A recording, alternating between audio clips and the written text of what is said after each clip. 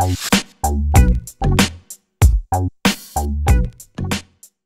Hey, what's up guys and gals? Sanitary 103, always encouraging clean eating and clean and healthy lifestyle.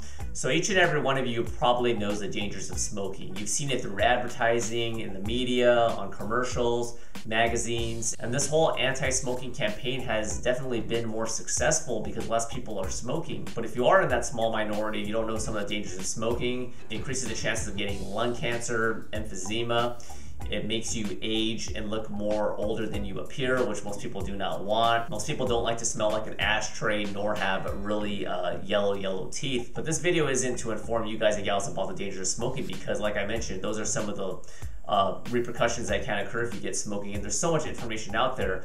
Nor is this video to condemn smokers because I personally don't care what other people do. As long as it doesn't affect me personally or it doesn't affect other people in general, I, I, personally don't care what people do. However, and that's why I want to do this video, if you're a smoker and you're not conscientious and or sensitive towards uh, other people's uh, health, that can be a problem. Now, I work in a hospital and I see all sorts of things. I'm not going to go into too much into detail, but one thing that kind of bothers me, well, really does bother me, is that I see a lot of people smoking at my hospital where I work.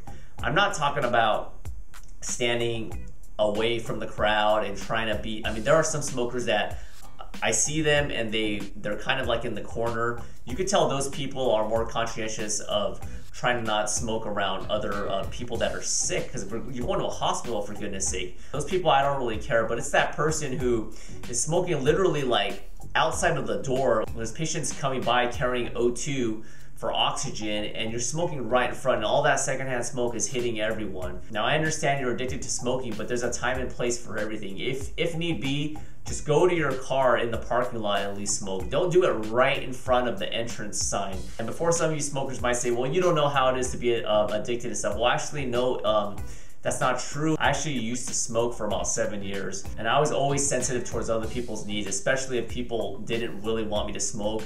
If I was around non-smokers, I actually wouldn't smoke around them. So like I said, I'm not trying to look down upon smokers and or tell you guys and gals how to live your life. But if you are a smoker and you're at a hospital it just doesn't seem right. It, it, really, really doesn't. Okay, people are there; they're already sick. Okay, some of these people. I work in the cancer center. These people have cancer, and to me, it's kind of like a slap to their face. These people are would do anything to you know, get rid of their cancer, be healthy. But like I said, I'm not trying to tell you guys how to live your life. But if you are going to smoke, just wait till just get in the car and just drive off a few minutes and do it away from the hospital. That that's all i ask for. Alrighty that's my time for this video. Comments and questions are always welcome. If you have any uh, crazy experiences with smokers leave them down below. Thanks for watching and i'll see you guys in a couple days. Bye